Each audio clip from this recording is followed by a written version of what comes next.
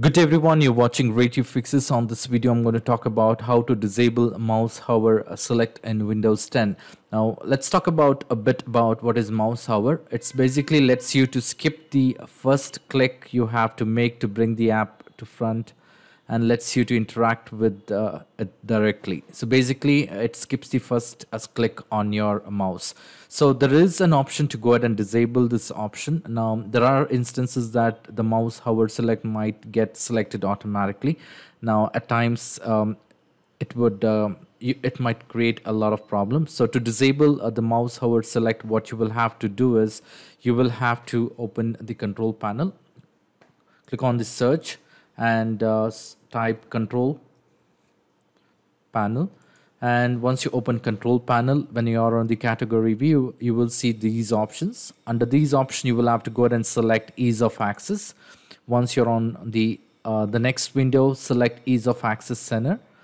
And under this option you will have to look for make mouse easier to use and on this window you will have to look for make it easier to manage windows. You will have to go ahead and uncheck this box click on apply and then click on ok and see if the mouse hover select option uh, works uh, has been disabled. In case if it doesn't work what i would strongly recommend you is to go ahead and disable uh, restart your computer and see if mouse hover select has been completely disabled on your computer. In case if this doesn't work uh, what i would suggest you is to complete uh, to update your touchpad drivers and see if that works. So what I, uh, to update the touchpad drivers, what you will have to do is you will have to click on search and type device manager.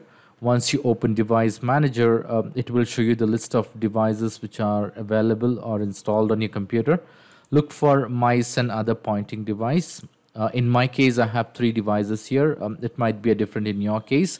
Uh, so what I would suggest you is update the drivers for all the listed pointing device. So you will have to do a right click on on the pointing device, click on update driver, search automatically for the drivers search for the updated drivers from the Windows update. See if uh, there are any um, updates available on the computer. Check for the updates.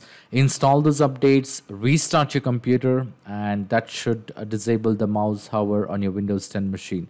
I hope this video was useful. In case if you like this video, please make sure to hit the like button and do not forget to subscribe to my channel. Thank you. Have a great day.